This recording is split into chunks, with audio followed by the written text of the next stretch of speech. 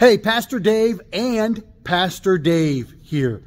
Uh, all of us have been keenly aware of the conflicts that are happening all over the globe.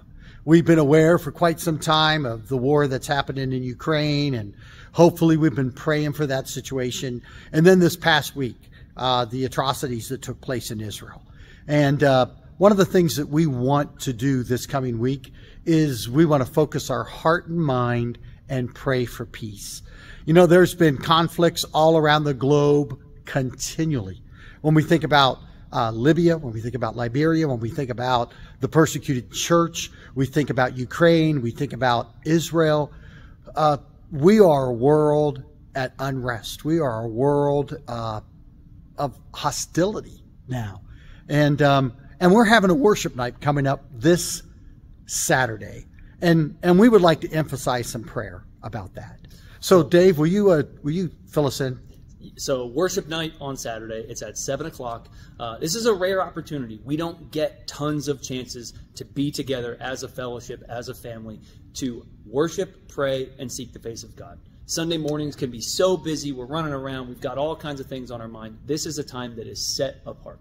This is a time specifically so that we can be together, worship without a strong uh, flow or anything else like that. We just want to worship. So we have songs, we have moments of prayer, we have specific things that we want as a body to focus on and pray for and worship God and say, God, the world is yours, do your will. So that's what this time is for. Saturday night, 7 o'clock.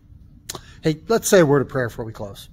Jesus, boy, we we understand you as the hope of the world. And Lord, uh, as your people, we want to deliver hope into the world. So right now, Jesus, uh, we just uh, we lift up uh, uh, Ukraine and we lift up uh, Israel and and we pray that uh, safety would come to all. There are so many innocents that are always get wrapped up and harmed through through through times like this. And so, Jesus, we know that you're the Prince of Peace, yes, and we pray that your peace will reign, even in the midst of hostility. Jesus we pray that people can find and know peace through you. Lord, give us peace in our hearts during these times of conflicts. We love you, Lord. We praise you, and we pray this in your name. Hey, we'll see you Saturday night.